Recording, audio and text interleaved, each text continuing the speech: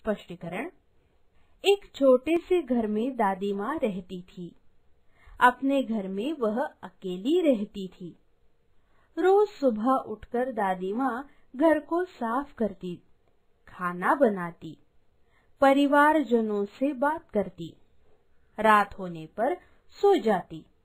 फिर भी उनके परिवार के जन फल फूल रहे थे। वैसे तो वह अकेली रहती थी। पर अब उनके परिवार की कहानी सुनो। दादी माँ बहुत समझदार थी। उनके घर के आँगन में बरगद का एक पेड़ था, जिस पर घोंसले में चिड़िया रहती थी। चिड़िया का नाम नीलू था।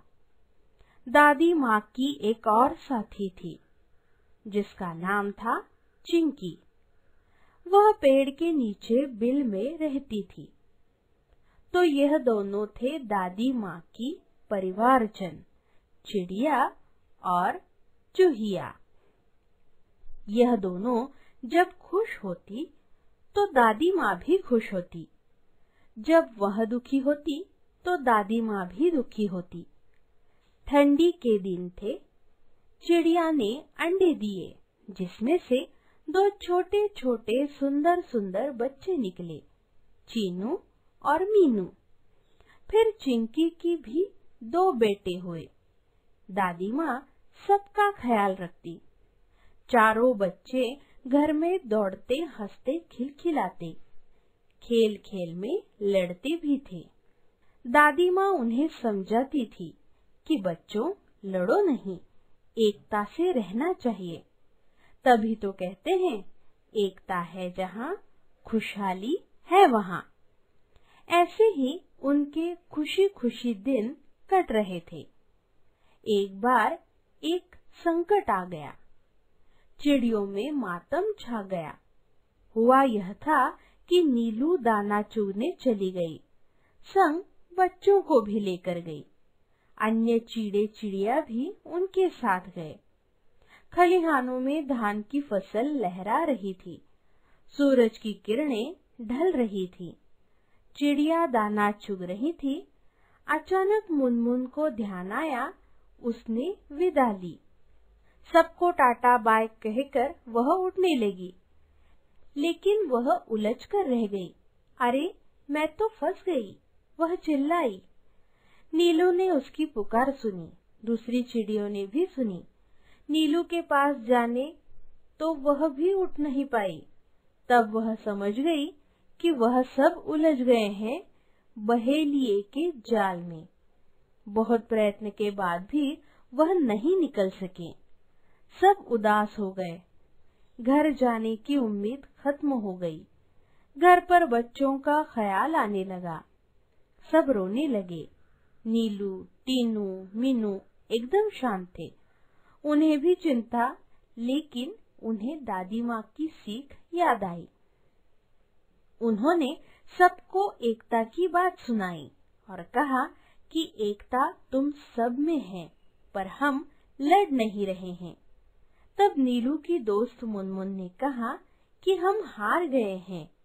चाहे कितनी एकता रखो, लेकिन हम कुछ नहीं कर पाएँगे। मीनू बोली, बस इतने से डर गई, हम ज़रूर जीतेंगे। एकता की ताकत ज़रूर लगाएँगे। मुनमुन ने कहा, कैसी होती है एकता की ताकत? तीनों ने समझाया कि एकता से हमें मुक्ति मिल सकती है। मीनू ने कहा कि मेरे एक, दो, तीन, चार कहने पर सब एक साथ उड़ेंगे और एक ही दिशा में उड़ेंगे। सब तैयार हो गए। मीनू बोली, एक, दो, तीन, चार। सबने पंख फैलाए और जाल के साथ उड़ने लगे। उनके मन में आशा और विश्वास की उम्मीद जाग उठी। उन्होंने समझा कि एकता में गजब शक्ति होती है।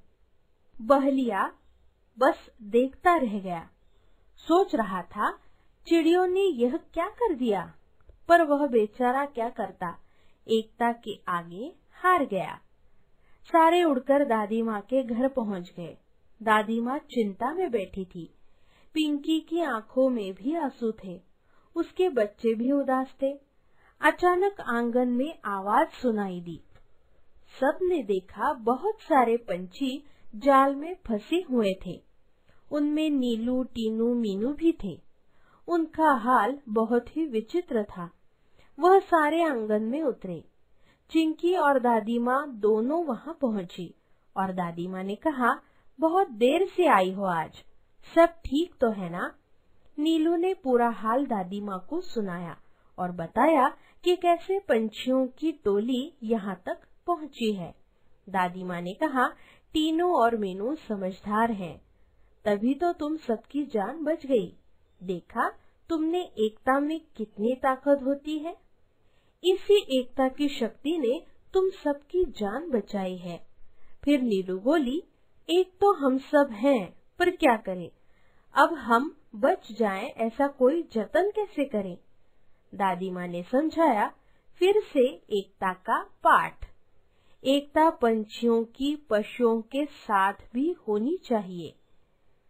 एक बात हमेशा ध्यान रखो, एक और एक ग्यारह होते हैं। अपनी झिझक को दूर रखकर चिंकी से मदद की याचना करो।